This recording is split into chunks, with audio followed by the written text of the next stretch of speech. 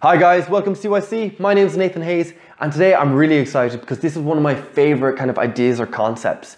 Now it might not convince you today, but it might kind of grow like a little weed in the back of your head and like in a month's time, in a year's time, you're gonna just kind of click it and you're gonna be like, God damn it, he was right. But it's really important to know, so let's jump into it. Today, I want to go through the three steps of creativity, but I want you to generalize it out past that. Every time you try something new or learn something, I want you to keep these three steps in mind. Have you ever met a creative person who just thinks they're unique? That they're going to like revolutionize the craft, they're going to really make an impact? Well, of course you have, because every creative person is like that, because you have to be, because what's the point in doing it if you're not going to make an impact? Whether it's an individual or the big stage, art is there to make an impact. So, all creative people have an ambition of making an impact, but have you ever met the person or been the person who's afraid of getting kind of caught up in the machine, of selling out into mainstream. And so afraid that you kind of like isolate yourself from it. You, you protect your creativity. This is your like 40 year old who's still working on their first album, or your writer who's writing the same book like 10 years later. It's the people that are like promising this is going to be amazing forever, and they're never actually producing the product or a product.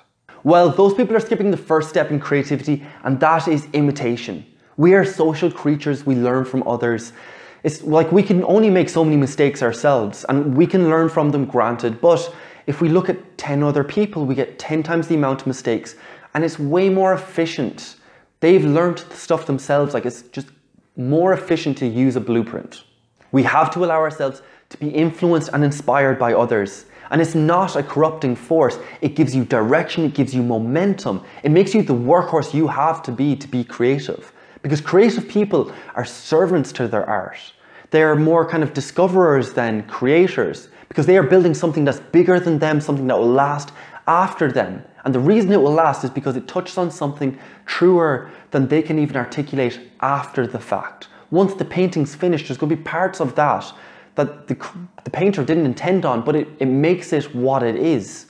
And if you want to take part in that creative mission, you have to work.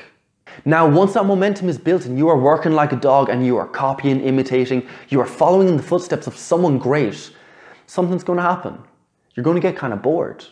And I don't mean prematurely. If you cannot copy the great, well, then there's still stuff in it that you can learn from. But once you get the techniques down and once you understand it, you're going to understand that they too, the great, no matter how profound, no matter how intelligent the product is, they discovered it.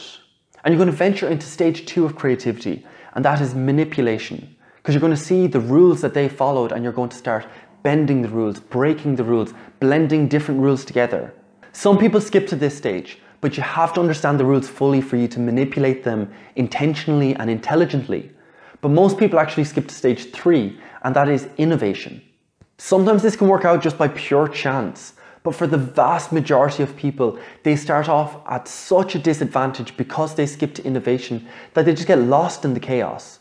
And if by some miracle they do end up producing something, it's going to be like a diluted or light version of like a theory. It's going to kind of just brush against it, but they won't be able to intelligently kind of interact with the topic because they don't know the theory, they don't know the history, they don't know, they can't get into the complexity, they can't like push the limit of what is known or what has already been done. They just, because they don't know it.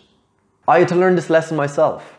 I said I was going to write a book like before I even opened a clinical practice, and it's like, what would that have looked like?